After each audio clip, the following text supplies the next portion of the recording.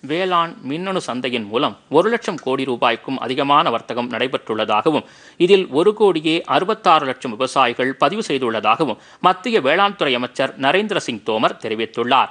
சிறு விவசாயிகள் வேளாண் வர்த்தக கூட்டமைப்பு ஏற்பாடு செய்திருந்த கூட்டத்தில் பேசிய அவர் மத்திய அரசு பத்தாயிரம் வேளாண் உற்பத்தியாளர் நிறுவனங்களை உருவாக்கி இருப்பதாக குறிப்பிட்டார்.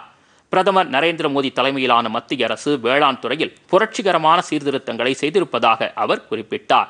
சிறு விவசாயிகள் வேளாண் வர்த்தக கூட்டமைப்பு ஆயிரம் சந்தைகளை மின்னணு ஈனாம் இணையதளத்தில் இணைத்திருப்பதற்கு அவர் பாராட்டு தெரிவித்தார்.